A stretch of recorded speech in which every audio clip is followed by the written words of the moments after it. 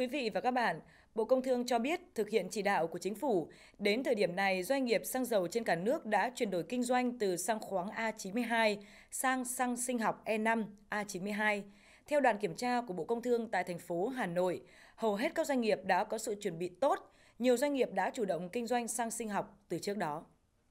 Theo ghi nhận của phóng viên tại Hà Nội, mức độ sử dụng đối với xăng E5 đã có sự tăng trưởng. Người tiêu dùng đã chấp nhận sử dụng xăng sinh học E5 thay thế xăng A92. Theo số liệu của Sở Công Thương Hà Nội, thành phố hiện có 486 cửa hàng xăng dầu. Trước thời điểm ngày 1 tháng 1 năm 2018, thành phố đã triển khai 140 cửa hàng xăng dầu kinh doanh xăng E5, chiếm khoảng 28,8%. Tổng sản lượng xăng tiêu thụ trên địa bàn khoảng 115.000 mét khối trên một tháng, trong đó xăng E5 khoảng 15.000 mét khối trên một tháng, chiếm khoảng 13% tổng sản lượng tiêu thụ xăng toàn thành phố. Đến thời điểm này, các cửa hàng đã chuyển đổi kinh doanh xăng E5 và hầu như không có đơn vị nào tồn động xăng khoáng A92 thì tại ờ, cả chúng tôi đã chuyển đổi 100%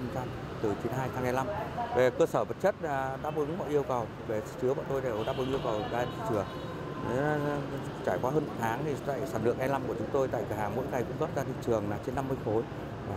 À, đối với khách hàng thì rất là ủng hộ về cái việc triển khai này. Đây là một chủ trương lớn của uh, chính phủ uh, về liên quan bảo vệ môi trường. Đấy thì cái này khách hàng rất là ủng hộ tuyệt đối với sử dụng cái xăng E5 này. Bây giờ bọn chị chỉ còn à, zone 95 và E5 thôi.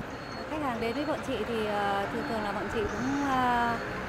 tư vấn rồi giới thiệu rồi thì quảng cáo cho khách. Lúc đầu thì còn e rè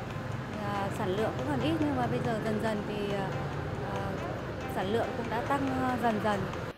Ngoài các doanh nghiệp kinh doanh xăng dầu truyền thống, trực thuộc Bộ Công Thương, hệ thống phân phối và kinh doanh xăng dầu của lực lượng vũ trang cũng thực hiện tốt chỉ đạo của chính phủ.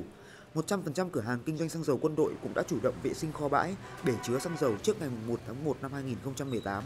Lãnh đạo công ty xăng dầu quân đội cũng cho biết, đơn vị đã ngừng cung cấp xăng khoáng A92, nâng cấp hệ thống phối trộn, đảm bảo chất lượng tuyệt đối trong việc cung cấp xăng sinh học E5 khi đưa ra thị trường. Chuyển đổi thì nó cũng tương đương là xăng 92, cho nên chúng tôi chỉ có cái công tác là uh, vệ sinh bồn bể sạch sẽ để đảm bảo nó khi mà bán xăng E5 nó nó không bị lẫn tạp chất cũng như là là là đảm bảo cái tỷ lệ uh, cồn nó đạt, đạt đủ. Về doanh nghiệp quân đội thì là bao giờ cũng là một trong những cái chủ trương của lãnh đạo chỉ huy quân tổng ty là xác định chỉ đạo rất rõ ràng và bao giờ cũng là những đơn vị sẽ là tiên phong thực hiện đơn vị à, chạm xăng phải chuyển sang E5 luôn 92 luôn. Tức là cái này là nó đã có cái sự chuẩn bị kế hoạch từ trước rồi chứ không có trạm nào vượt quá được cái cái mốc đấy cả. Đều đều đều ấn định cái lượng hàng nhập vào cái thứ làm sao thì đủ đảm bảo bán và cấp cho quân đội làm sao để nó không bị gián đoạn trong cái giai đoạn mà thực hiện cái lộ trình. Đại diện vụ thị trường trong nước Bộ Công Thương cho hay, qua thực hiện thanh tra chuyên ngành, chất lượng xăng E5 lưu thông trên thị trường bảo đảm theo quy định, chưa có bất kỳ khiếu nại nào của người tiêu dùng về chất lượng xăng E5. Ờ, 85 90% là người ta vẫn dùng cái ờ, cái cái cái RON ờ, E5 RON 92 và còn lại là người ta chuyển sang cái 95 thì chỉ chỉ có 10 12% thì không đáng kể. Và đặc biệt là có khi các bạn ra ngoài thành thì cũng như là các bạn cũng đã biết là hầu hết là 100% là khi mà chuyển đổi sang cái uh, xăng uh, sinh học E5 RON 92 thì là họ dùng hết toàn bộ và ta dùng gần như là 100% và coi như là cái này là một cái thành công của cái chính phủ mà khi điều hành chuyển đổi cái à, uh, xăng khoáng 92 sang um, sang sang cái E5 RON, RON 92.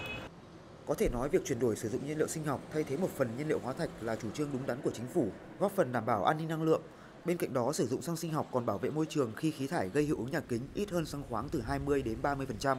Sử dụng xăng sinh học E5, người tiêu dùng được mua với giá thấp hơn xăng khoáng A92, còn người nông dân tiêu thụ được sản phẩm là đầu vào của ngành sản xuất nhiên liệu sinh học với mức giá cao hơn, góp phần ổn định và nâng cao đời sống, sức khỏe của người dân.